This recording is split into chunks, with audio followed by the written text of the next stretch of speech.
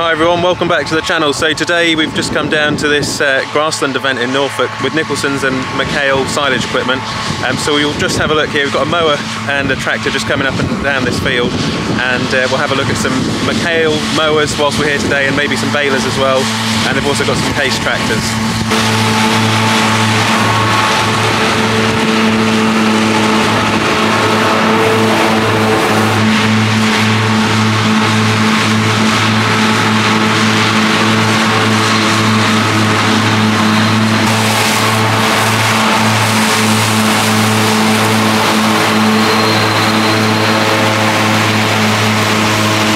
pair of There. And if you have a look at the cut down below you can see it's done a clean job. And uh, there's a good little bit of swath on this grass. They've also both got conditioners on them as well to reduce the drying time.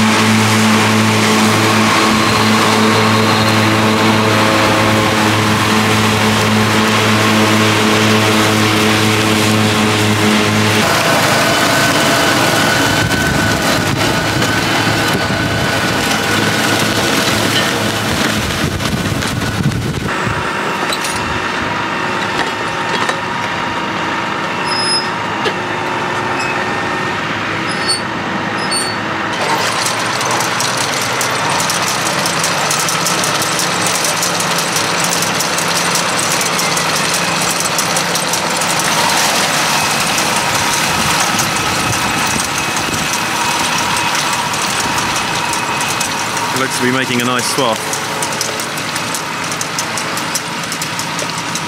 It's making a, a very clean job. I don't know if you can pick it up on camera.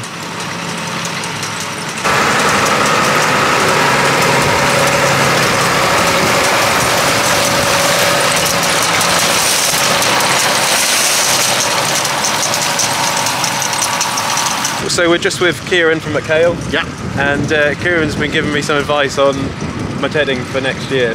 Yeah. Or for this year, sorry. This year. And uh, what, where I've been going wrong.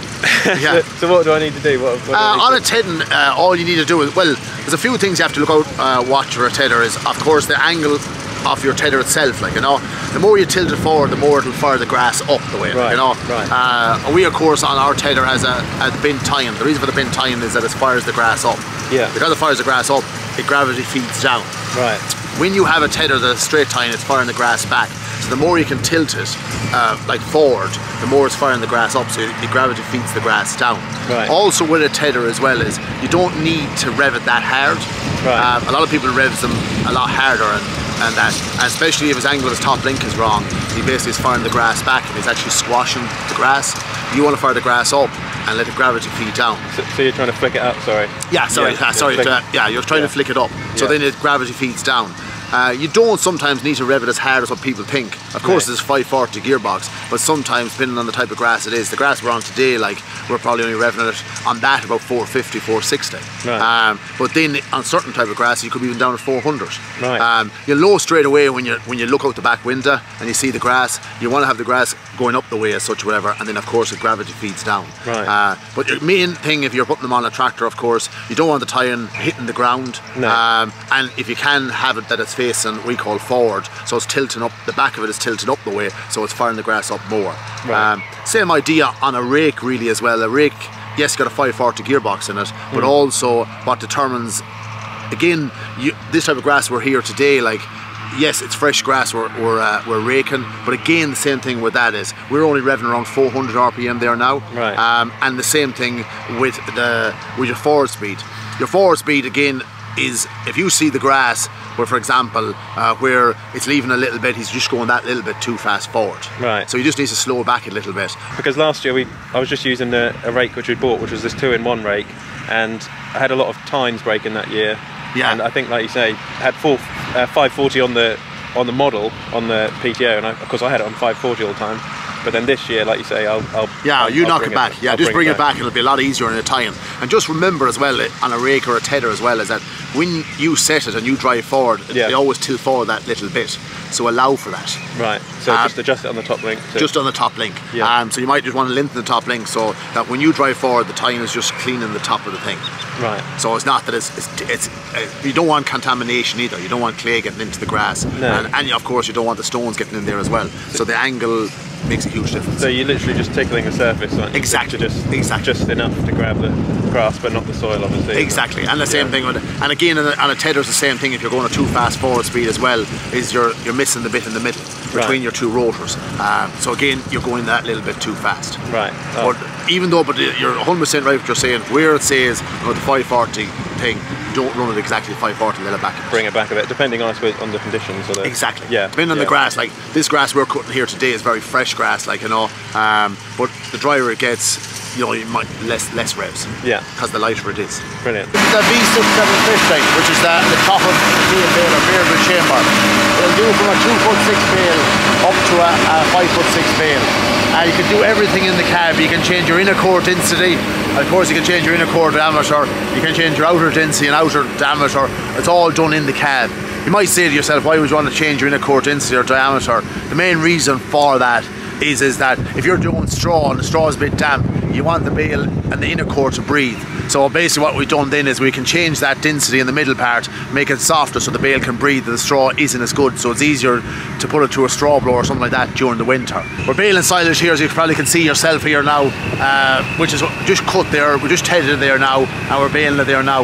Um, the bales we're making at the moment are four foot bale, but you can change that to whatever size of bale you want, like you know. So if you want to put uh, what we call, if you want to make it four foot four or four foot five, anything like that, you can do all that from the box. You can just change it in the control box in the cab. exactly. And, and you were just saying to me that the these balers are really good for wet grass, like sort of Yeah. wet, um, like marsh grass, like in Norfolk on the Norfolk Yeah. Broads. Uh, it uh, will cut yeah. a bit no trouble. No problem. And the difference on that is is that what we've done is is one third of what we call the chamber is rollers. So there's like three rollers in the chamber, and two thirds of the chamber is belts. So you basically is you're getting the best of both worlds. You can bale silage, but then of course you can also bale straw as well. So if you ever open the chamber of a McHale belt baler, you'll see there's three rollers. So that's like one third of the whole chamber is rollers, and the other two thirds of the chamber is what we call belts. Balers have really have moved on from what they were years ago you know, you always the drop down floors came in a good few years ago, but now you've got flexi floors, um, pickups. Now you've got cam track pickups, but also you have camless now as well.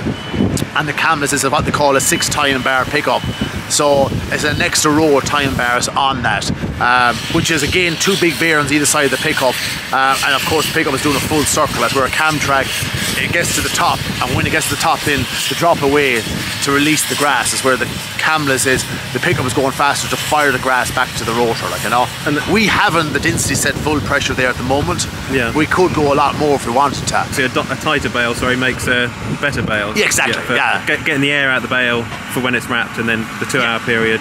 Yeah, exactly. And that's the key in the whole job is if you want to make good quality of silage, you know, you want the air out of the bale. And when you then wrap it, you want to seal that bale. And Yeah. that's the difference on that. And that's exactly what you're saying is the harder you make that bale, the better it will be. The better your silage is, the better quality of silage is, the whole lot. Because you're getting that air out of that bale. And the next thing then is to wrap it and to make sure it's sealed. Yeah. Well, thanks Uh, very much.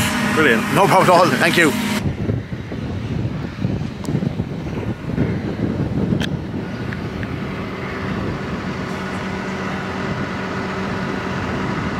All right, so hopefully you'll have seen the- silage making process. We've seen the mowing, the tedding, the raking, and the baling and wrapping with the fusion and the baler at the back there.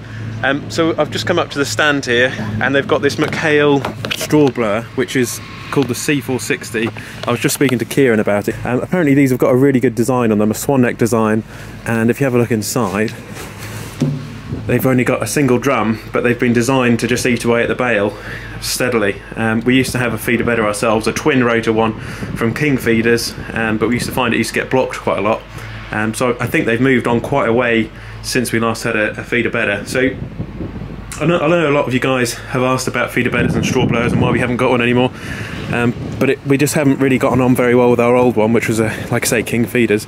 So maybe it would be that Kit McHale would be the one to look at with our new shed. But um, I haven't seen a, a, straw bedder built as well as this in a long time. I must say it looks very well made. And then just to the left of that is the R3100, which Kieran was saying to have a look at and some prices of the mower conditioner. These are a really good bread and butter mower now for McHale, and as you can see, they store them um, just on a stand, so you can store them in your shed like that, so it doesn't take up as much room, which is quite smart. Um, so it's quite a nice display really. And then something else which is quite cool today at this beef farm in rural Norfolk is this is Weidemann UK's um, new Weidemann telehandler with the new cab. A lot of people think that Weidemann are, a Kramer. They are very similar. They've got a similar boom, uh, similar boom design, but this has got a completely new cab, and it's also when you get into the cab, it has got a bit of a cutaway as you get in. Weidemann, obviously made in Germany, and look at the visibility. It's pretty good. To the right, to the rear, it's like a panoramic rear in the back.